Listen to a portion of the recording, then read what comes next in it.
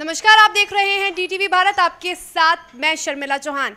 पूरे देश के साथ बिहार भी कोरोना का संक्रमण झेल रहा है। एक तरफ़ कोरोना के बढ़ते आंकड़ों ने बिहार वासियों के साथ सरकार की भी नींद उड़ा दी है तो वही मरीजों का भरोसा अब अस्पताल बन चुका है और डॉक्टर बन चुके हैं। लेकिन राजधानी के साथ बिहार का सबसे बड़ा अस्पताल पीएमसीएच की जो स्थिति है वो बेहद भयावह हो चुकी है। एक तरफ़ जहाँ बेड की कमी को लेकर कई मरीजों की जान जा रही है धूप में तरप तरप कर मरीज़ मर रहे हैं तो, तो दूसरी तरफ़ डॉक्टरों की लापरवाही की वजह से भी मरीजों की जान जा रही है।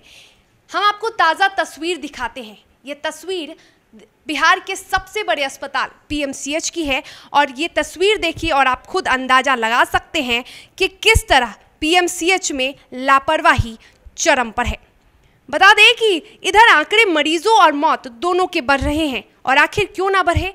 जब कोरोना मरीज़ स्ट्रेचर पर हों, जहाँ उनके वार्ड में होना चाहिए था और वहाँ वो बाहर में स्ट्रेचर पर ज़िंदगी की जंग लड़ रहे हैं।